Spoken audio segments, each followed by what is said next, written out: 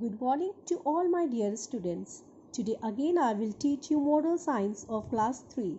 So kindly sit along with your pencil and book. As we already completed this prayer and this story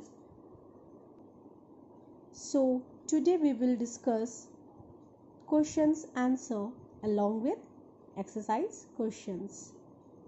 So kindly listen carefully. First we will start with question number B which is on page number 9. We will start with match the columns. Where there is hatred, let me bring love.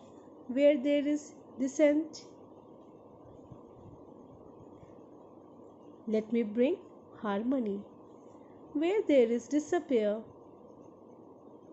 let me bring hope. Where there are shadows,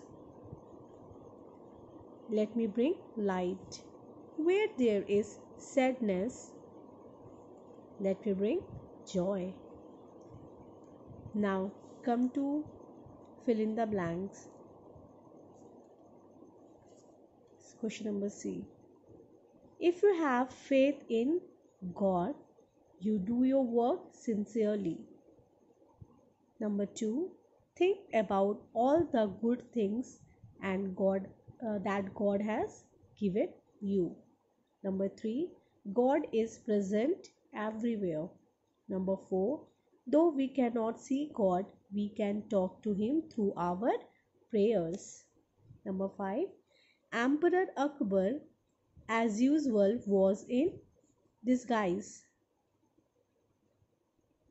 Number 6. Swami Hari Das hut was situated on the banks of river Yamuna. Why should be in capital letter? Nothing can match what we offer to God from the bottom of the heart. Now come to page number 10. Yes, no is there. Number 1. You cannot show your devotion towards God. No. God has given you many good things. Yes. The world is the most precious good gift of God? Yes. Tansen was an emperor? No. Swami Hari Das was a very good dancer? No. Tansen was a better singer than Swami Hari Das? No. Now come to questions answer. Question number 1 What are the what are the gifts of God? The stars, the moon, the sun, the clouds, the birds, the animals, the trees, the flowers, and the beautifully colored butterflies around you all are gifts of God. Now come to question number 2. Where is God? God is present everywhere. God is present in everything. He is with us he is in you and in me. He is in the air around us. Question number 3 Who was Tansen? Tansen was the great singer of Emperor Akbar. Question number 4 Where did Guru Hari Das live?